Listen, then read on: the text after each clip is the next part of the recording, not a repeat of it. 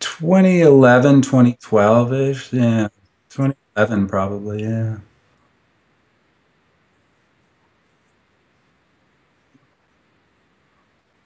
Yeah.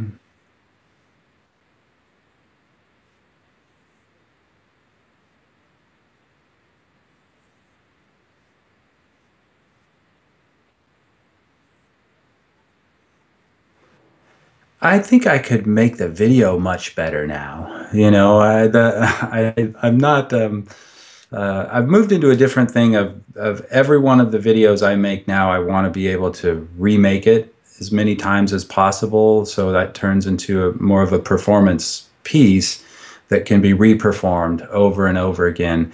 And in the moment when I was making that video, I did it a bunch of times and a bunch of times and got a good capture of it but I don't think I've uh, created the uh, uh, something that can be redone as much over and over. So I mean, I, would like to redo that video at some point in a way that's more, um, uh, I don't know, just adaptable and and um, per- performance like.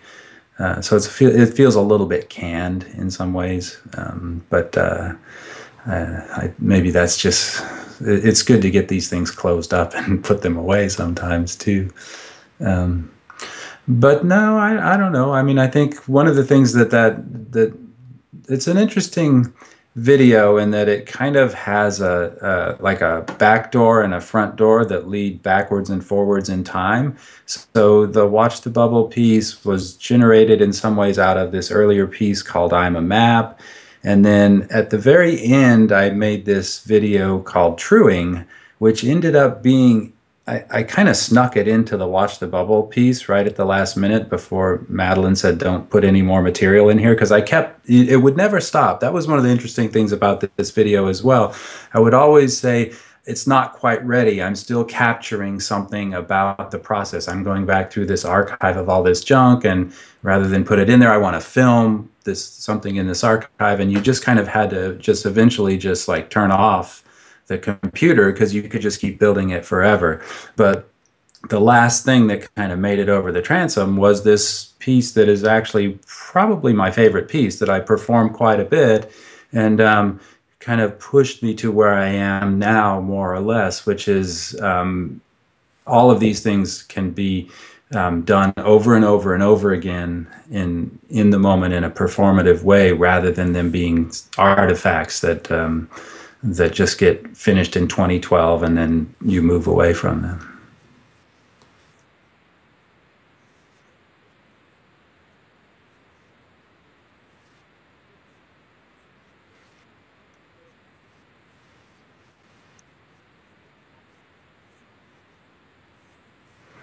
Uh, you know, uh, I'm not sure. Published ones, you know, I started with the I'm a Map video in Kairos, and um, uh, then I did the Watch the Bubble one, and I did uh, one with students, which is this one called Casting Learning. And so those three are kind of of a piece that I did in about a two and a half or three year period.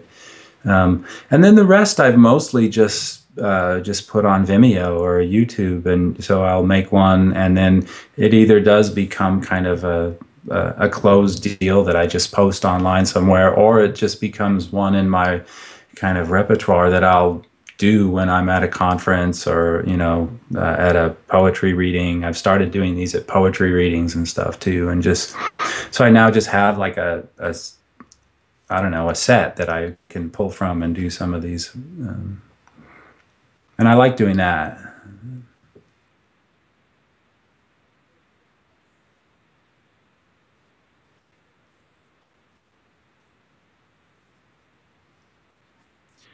Yeah, uh, the responses are always a little bit. Um, I think audiences are unsure what to make of the pieces. Actually, I think a lot of times they'll uh, um, enjoy the affective um, experience of them. Um, and in the poetry readings, I think that works better sometimes as opposed to in the academic conference.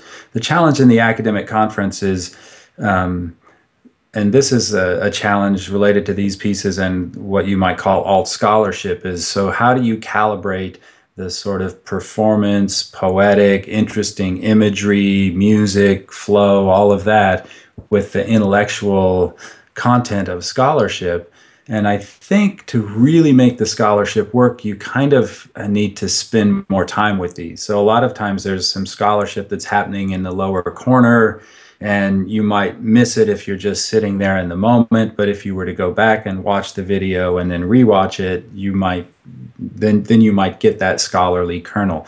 So i think the affective whoa that was kind of interesting or i don't know what that was comes across pretty well. And then the next layer down of okay what does that mean about you know digital epistemologies? Uh, i think there was something in there but i'm not sure.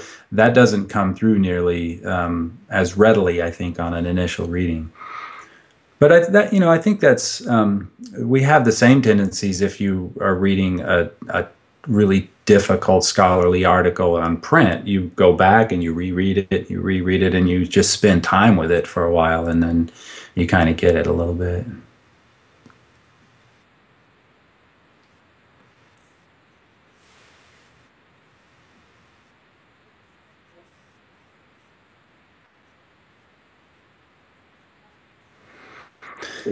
Hmm. Yeah. Uh, I don't know. I mean, I think curation is a wonderful concept. I love the concept of curation because it's got not only the sense of like capturing and saving things, but also, um, you know, applying your own interpretation or working with them to make them understandable and usable by others. So I almost feel like a text like Watch the Bubble is curatorial text as much as anything. There is, you know, uh, kind of a main video, but there's all these other pieces. And, you know, the umbrella text that's published in Kairos in many ways is really a curation of these pieces that captured the process of the composing of that one video at any given time. Um, so I think that's really valuable. And I mean, I like it in terms of the way that it fits in with notions of alt scholarship too, because it's sort of just trying to um, capture and make sense of stuff rather than win an argument or, um, you know, it might be okay to just say something interesting happened. Um, let's see what we can make of it and and so I really like that impulse. Um, it, I think it can be a little bit messy, and if it gets caught up with uh, you know notions of archives, and you know, there's a lot of things that curation can be, um, all really interesting. Uh, and this one in particular is a different kind of curation in that it's linked to a writing process, or it's kind of about the composing process, a multimedia composing process.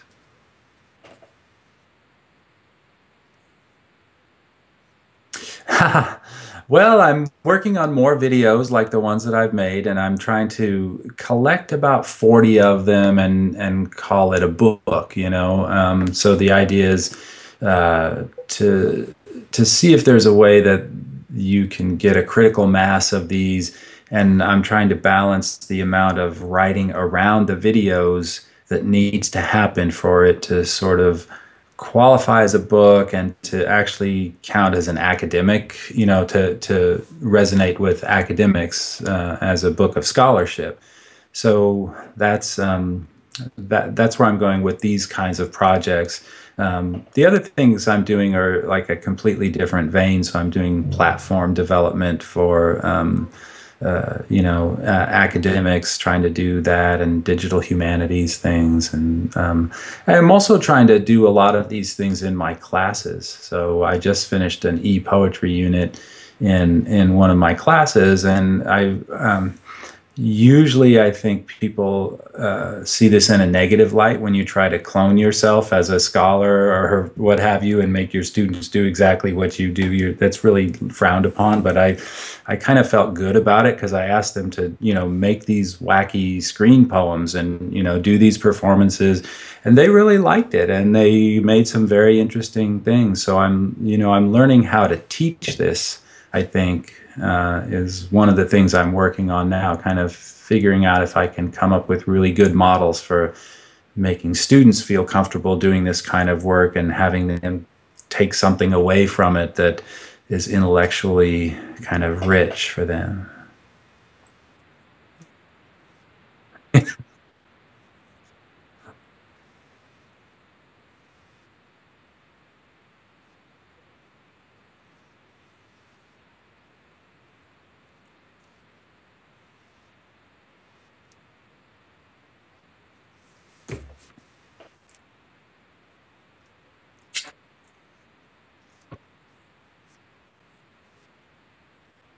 Yeah.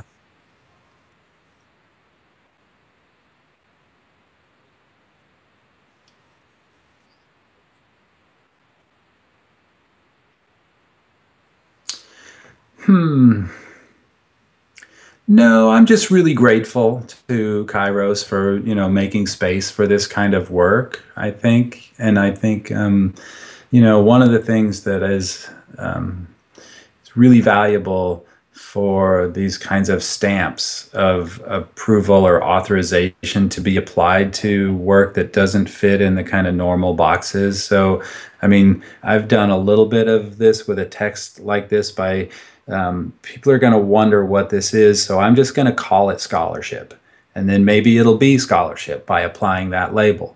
And I think Kairos is really um, valuable for being able to to authorize that in some ways. And so that's it's really to be celebrated. And that's you know that's the underlying kind of content piece about how this is about the computers and writing community which is comfortable with that. And and so um, I guess if there is a takeaway, it is the idea that tr- you can try something different put a lot of energy into it. It won't be like um like easy. It's still going to be rigorous or challenging. There's a lot to it, but it doesn't have to look like what everything looks like before and it can be driven by just playing with the technologies and seeing what you can come up with and there's a space for that and um, it's really valuable because we already know how to do the other stuff you know and it's good to have really traditional things it's fine but we've got that figured out already in some ways. So these new spaces are really valuable.